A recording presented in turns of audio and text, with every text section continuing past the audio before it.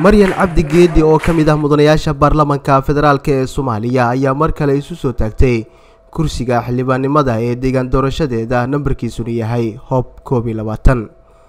Munaasabadda ay ku shaacinaysay in ay tahay musharax xildhibaan ee baarlamanka koob iyo tobanaad oo lagu qabtay magaalada muqdisho ayaa waxaa ka soo qayb galay nabadoonno waxgarad siyaasiyiin saraakiil aqoon-yahano haween iyo dhallinyaro kuwaasi oo taageeray musharax xildhibaan maryan cabdi geedi qaar ka mid a dadkii ka soo qayb galay munaasabadda oo ka hadlay goobta ayaa sheegay inay taageersan yihiin xildhibaanad maryan in mar kale ay hesho kursigaasi islamarkaana ay wax badan u qabatay dhallinyarada beesha iyaga oo ku baaqay in dib loogu doorto kursiga deegaan doorashadeeda.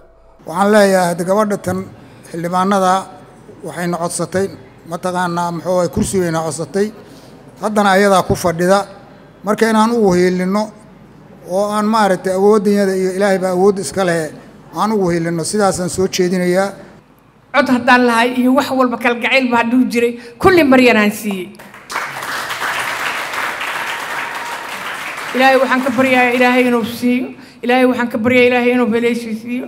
Ilaahay adiguna cirka ka yeer dadka kalena hoosta ka yeeran. Haddaan dhallinyaradii nahay waan ku faraxsannahay in aan helno dadkaas dadaalaya ee horumarinteenna iyo waxtarkeenna iyo soo muuqashadeenna baraarugaas leh waa ku faraxsannahay insha allahu tacaala waana soo dhoweyhaynaa midda kale waxaan idiin sheegaa kursigaanu wax shuruudahuu leeyaha ma jiro.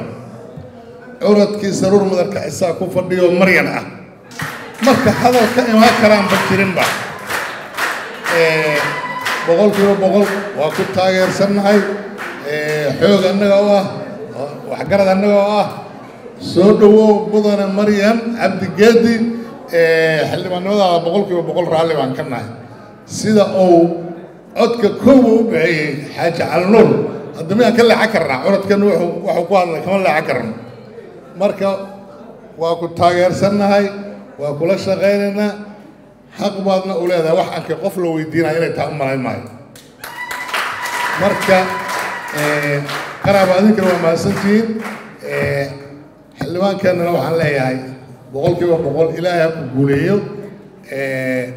doorashadaada waa dhammaatay waxa waaye adaa xildhibaan noo ah. Sidaan aaminsanaha waay sababto intii codka loogu weydiina waa intaan fadhisa meesha. Cid ka dad ka dambeeyo la weydiina anuu ma ogi. Casuunta dhallinyarada xildhibaanadda maryan cabdi geedi waayo waxaa jira xildhibaano badan oo xaflado dhigtay. Isnama aysan casuumin laakiin xildhibaanadda waxay aqoonsatay dhallinyarada inay casuumto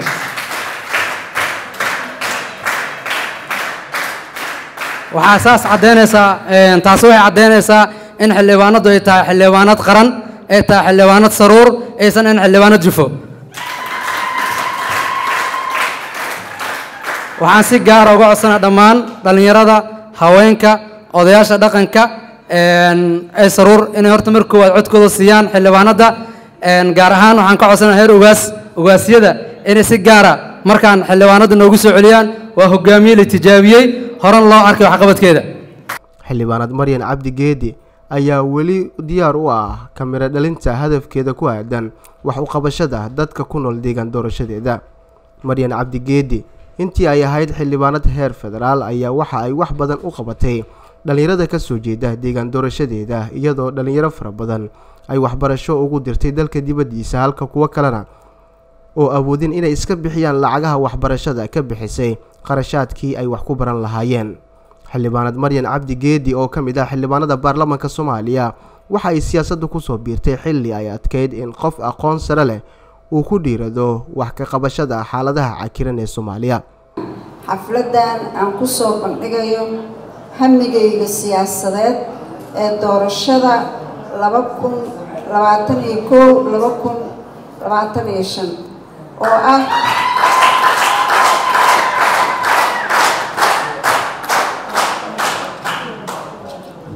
oo ah in dib la igu doorto kursiga aan hadda ku fadhiyo.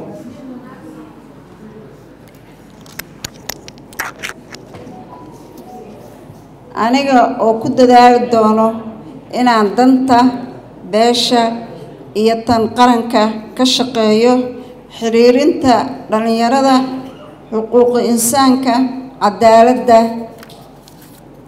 sida aada aqoonsan tihiin waddanka dagaalo badan iyo dhib badan buu soo maray. Waxaan ku jirnaa geedi socodka dhismaha dalka dhinac kasta ay ugu horeyso nabadeynta beelaha amniga horumarinta waxbarashada shaqo abuurka dhallinyarada iyo caafimaadka. Waxaan ballan qaadayaa haddii i doorataan oo kursiga dib iigu doorataan waxaan ballan qaadayaa inaan u hagar baxo hagarna iiga gelin inaan wax ka qabto geedi socodka horumarka dalka iyo dadka iyo diinta. Zakariya axmed muuse t v-ga shabeelle muqdisho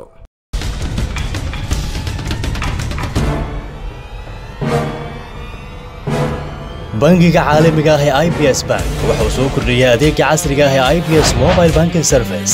Ku maamulo xisaabtaada sida kuugu habboon. Faa'iidooyinka gaarka ah ee aad ka heli karto waxaa ka mid ah inaad kala socon karto haraaga koontadaada mar kasta iyo meel kasta.